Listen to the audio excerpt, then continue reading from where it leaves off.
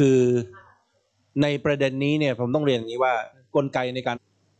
ใช้คำว่าพายุทางเศรษฐกิจให้มันให้มันหมุนนะให้มันเกิดการหมุนและไม่ได้หมุนอยู่ใน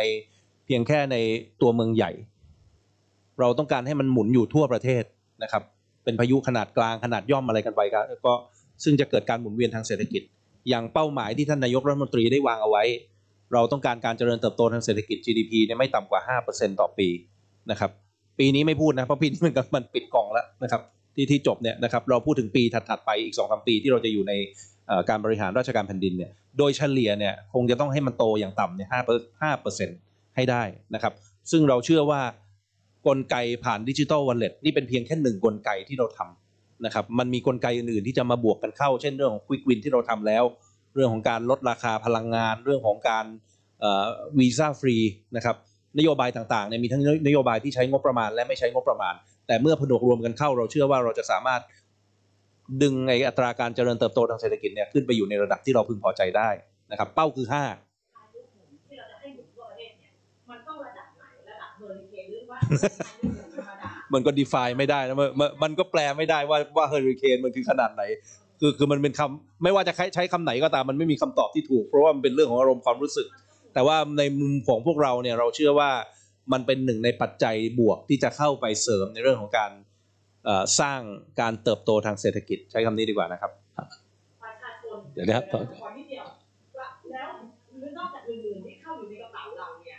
แล้วความยั่งยืนที่จะทำให้ประชาชนไทยเนี่ยมีเงินเพิ่มขึ้น มีเงินเพิ่มขึ้นอย่างยั่งยืนนะคะ เรายืนยันได้ไหมว่าเขาจะรวยขึ้นกี่เปอร์เซ็นต์คนพวกเราเนี่ยจะมีเงินเพิ่มขึ้นกี่เปอร์เซ็นต์แบบยั่งยืน ไม่ใช่แค่หมื่นเดียว ผมจะตอบยังไงกี่เปอร์เซ็นต์เดี๋ยวก่อนนะ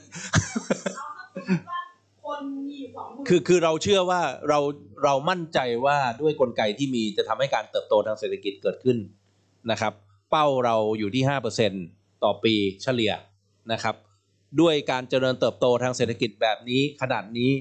ซึ่งคนไทยไม่ได้สัมผัสมันมานานนะครับ คนไทยอยู่ในช่วง10ปีที่ผ่านมาเนี่ยโตเฉลี่ยประมาณ2นะครับ เราไม่ได้เห็นการเติบโตระดับ5เนี่ยมานานมาก ถ้าเห็นการเติบโตระดับ 5 ผมเชื่อว่าทุกคนจะรู้สึกว่าตัวเองเกิดความมั่งคั่งมากขึ้นกว่าเก่า เรามีความมันมันเป็นมันเป็นเขาเรียกอะไรอะการเปรียบเทียบซึ่งผมไม่สามารถตอบเป็นตัวเลขให้ได้อะนะครับ จะบอกว่ายังไงจะบอกว่ารู้สึกรู้สึกรวยขึ้นเนี่ยมันก็ตอบยากนะใช้คำตอบอย่างนี้ แต่ว่า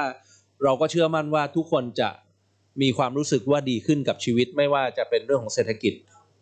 ครับครับไม่ว่าจะเป็นเรื่องของสังคมหรือเรื่องของการเมืองขออภัยครับขอขอขอท่านอื่นบ้างครับครับผมผมผมผม